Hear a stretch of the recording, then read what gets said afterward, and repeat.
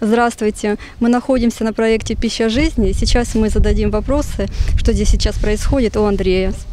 Андрей, Э, скажите, пожалуйста. Добрый день. Э, У нас э, сложилась тяжелая ситуация, э, продукты пропадают, и мы решили э, закупиться на 20 тысяч, э, чтобы ну, люди, которых мы кормим, ну, обеспечить их э, полноценным питанием, и у нас были запасы каких-то продуктов. Э, Поэтому нам нужна вот э, помощь, может быть, всех кто не людей для того, чтобы ну, сделать какие-то запасы на, на будущее. Неизвестно, сколько это продлится.